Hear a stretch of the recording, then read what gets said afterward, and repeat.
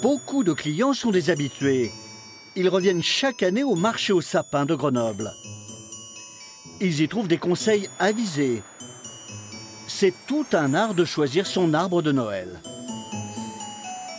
Assez haut et pas trop évasé du bas pour prendre toute la place euh, pour pas grand chose. Et un peu aéré, un peu aéré pour que les boules apparaissent un petit peu, alors qu'il y en a certains, ils sont tellement denses qu'on a l'impression que la guirlande, on va rien voir. Les aiguilles ne sont pas toutes les mêmes. Il faut être bien aiguillé parmi les variétés.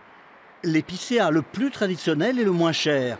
Le Norman, le Scandinave très costaud ou encore le Nobilis et le Pingens.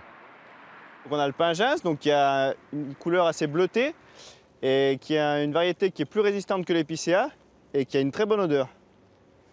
Là, on a le Nobilis, donc qui est une variété un peu euh, que les aiguilles ne tombent pas et qui a une très bonne odeur aussi. L'approvisionnement est régulier car c'est un marché de producteurs, le seul de l'agglomération. Huit agriculteurs cultivent les résineux dans les massifs environnants. Le sapin est frais. On le coupe, on en coupe régulièrement pendant toute la durée du marché. Toutes les deux, trois jours, on fait une coupe de sapin, voire même tous les jours pour certains producteurs. Donc voilà, c'est le sapin que vous avez acheté. Voilà, un super sapin.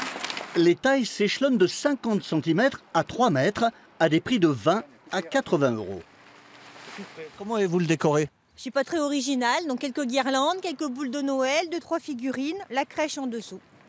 Plus de 4000 sapins sont vendus sur le marché grenoblois au long du mois de décembre jusqu'à la veille de Noël.